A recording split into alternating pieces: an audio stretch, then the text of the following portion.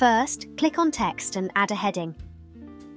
Go to font and type black box.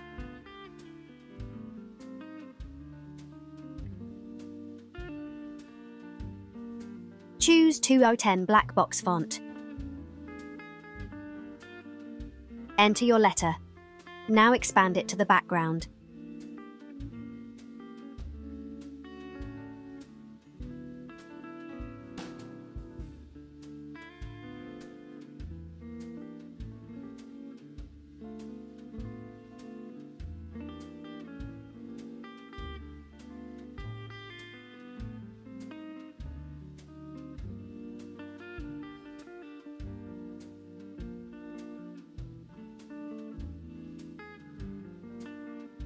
Click on Text Colour and change it to green. Click on the Element tab and choose the rectangle shape. Now put this rectangle on all sides of the page and change its colour to green.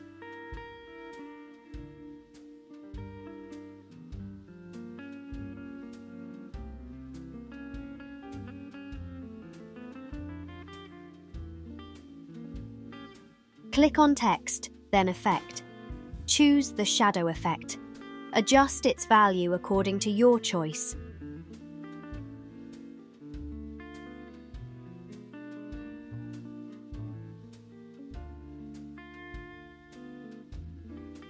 Change its colour to black. Click on Upload. Add your photo to the design. Select your photo Click on Edit Photo. Click on Background Remover to remove its background.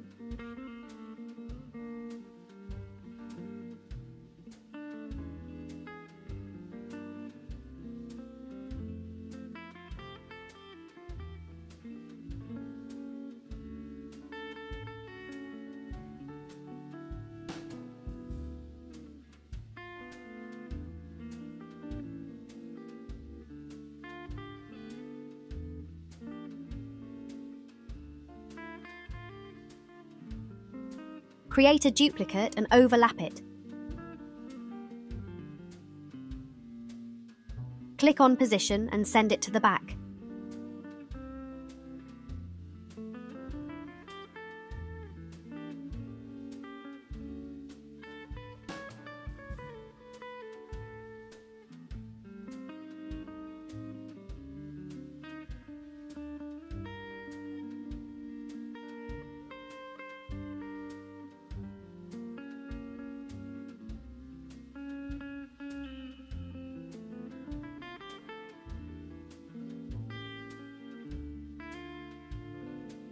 Click on Position, then Layer. Select all layers.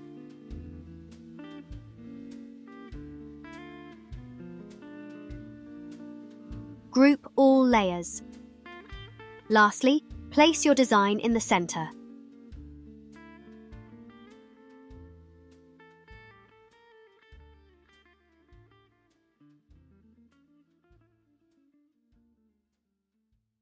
Thank you for joining me in this video.